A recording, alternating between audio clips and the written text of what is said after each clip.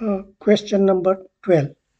Uh, here again we have a uh, rational number uh, on both sides. And uh, so we have to x divided by 3 we can put like this one third x. See? So it's easy to find the inverse. Uh, plus 1 equal to 7 divided by 15 so first uh, we just move the 1 on the side. So it becomes minus. So plus becomes minus.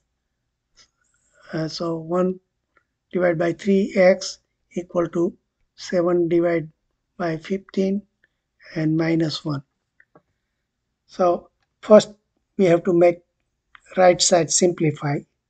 So 1 third x equal to see this 15 we can write like this. Common denominator is 15 so here is 7 and uh, 15 minus I think uh, you, understand how to do this one. This 15 if you put under 1 15 then you have to multiply uh, 1 with 15 so 15 also become so basically minus minus 1 is we are writing like 15 divided by 15 minus. So that's why 7 minus 15 whole thing under is probably like this. And if you uh, if you now 7 minus 15 see again if you forgot this thing negative number and positive number if they have a different sign then you have to subtract and whatever the bigger number you have to use that sign. So 15 and 7 if you if you do the subtraction so 15 minus 15 minus 7 is become 8 and what is the sign of 8 so whatever the sign of the bigger number bigger number is 15 so 8 the answer sign will be this one. So minus 8 divided by 15 if you forgot this thing how to simplify this type of number you have to learn from the previous standard and uh, practice from that one and understand this one how we got minus 8 divided by 15 okay?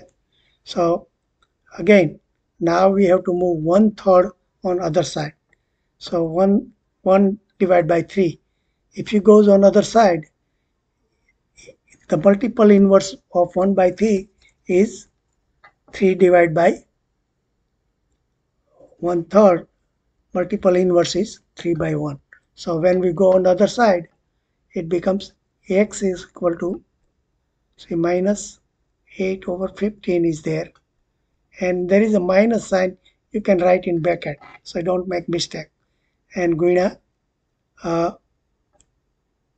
3 divided by 1 see that one so now again to simplify this thing uh, I can write here 8 equal to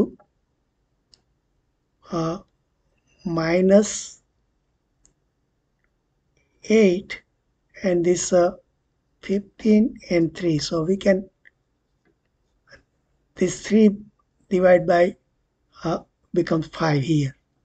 So if you simplify that one x is equal to minus 8 divided by 5 so see this is the only difference that you have all this process you do is a little bit harder.